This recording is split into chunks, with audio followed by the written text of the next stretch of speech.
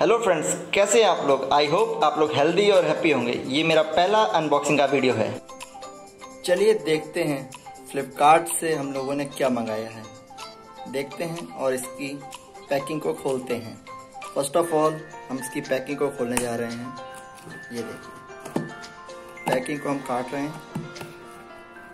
देखते हैं इस बॉक्स के अंदर क्या निकलता है। इट इज़ एक हाथ से काट रहा हूँ मैं। बहुत ही हार्ड है। एक हाथ से मोबाइल होल्ड किए हुए हैं। देखते हैं, कटता है कि नहीं कटता। वाह कट रहा है देखते हैं अंदर क्या निकलता है इसके अंदर।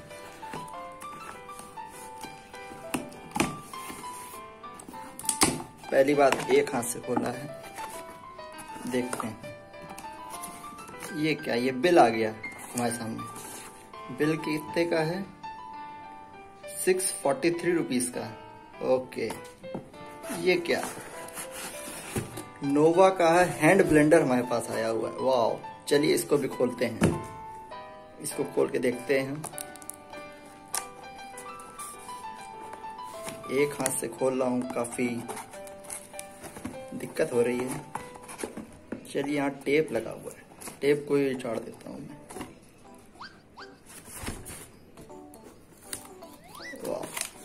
यहाँ पे हैंड ब्लेंडर का डिज़ाइन बना हुआ है और ये हैंड ब्लेंडर चलिए देख के खोलते हैं क्या निकलता है इसके अंदर। पैकिंग खुल चुकी है। इसके अंदर ये फॉर्म निकले। फॉर्म के बाद ये एक हैंड ब्लेंडर निकला है। वाह वाह। ये एक, जिसे हम लोग कह सकते हैं यूज़र मैनुअल निकला है। या फिर वारंटी कार्ड निकला हुआ है। चलिए जानते हैं। ये देखिए हैंड ब्लेंडर निकला हुआ है, बिल्कुल प्लास्टिक में पैक है। उसके बाद ये आगे का एडजस्टेबल और ये नीचे इसमें ब्लेड लगा हुआ है। इसको नीचे अटैच कर देंगे। उसके बाद इसको चला के चेक करेंगे। देखते हैं। खोल लिया है मैंने इसको। अब इसके, इसको भी खोलता हूँ। देखता यहाँ टेप से पैक है।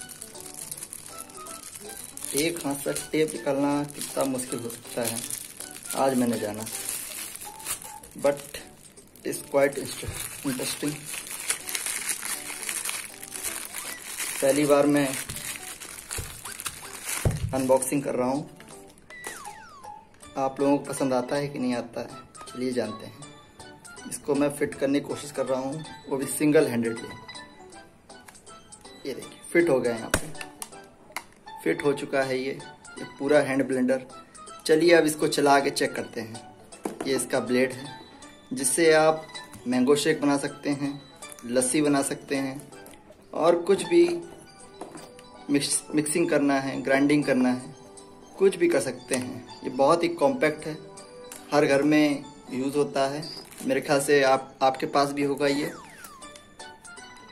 चलिए अब चला के चेक करते हैं। ये मैंने नोवा के हैंड ब्लेंडर की अनबॉक्सिंग कर ली है और इसको फिट कर लिया है। इसको पहले चलाने से पहले सबसे पहले इंश्योर करना है कि ये लॉक पोजीशन पे होना चाहिए। अदरवाइज़ ये आपके ब्लेड को डैमेज कर सकता है, मोटर खराब हो सकती है, जल सकती है। चलिए चला के देखते हैं। इस पहले सबसे पहले हमने प्लग को कनेक्ट कर दिया है। कनेक्ट कर दिया मैंने। इसके बाद ये प्रेस पुश बटन है। पुश बटन पे हम क्लिक करते हैं या दबाते हैं। जैसे मैंने दबाया।